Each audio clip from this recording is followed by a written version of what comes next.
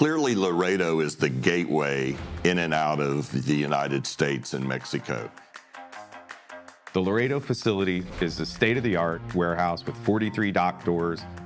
It has 160 spaces for trailers and is fully tech-enabled with a best-in-class yard management system, warehouse management system, and everything integrates to our transportation management systems that we run across every line of business at RXO.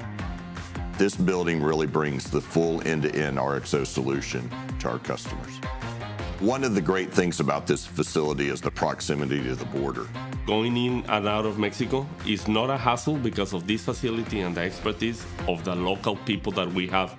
Even though there's small borders like Nogales, El Paso, Tijuana, Laredo, it's like the main port where everything is gonna go through here. We are right at the entrance to the International World Trade Bridge. It's very important to ensure the security in the supply chain. And we've built security into this world-class facility. What's really important about our security is this facility is fully CTPAT certified, and for many of our customers, that's essential.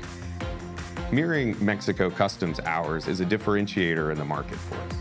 So we ensure that we are open and available to ship or receive freight during those U.S. and Mexico customs hours. One of the great things about the staff at this facility is they can be multi-customer, supporting small customers, all the way up to our large customers with full dedicated teams supporting their business. The employee engagement at this facility is incredible. We don't have coworkers, we have family, we work together. RXO has the best people in the business, and I think Laredo is a flagship and shows why they are so special. We are RXO, and we are ready and we want to welcome you to come see the facility and see how RXO can help you to integrate your supply chain.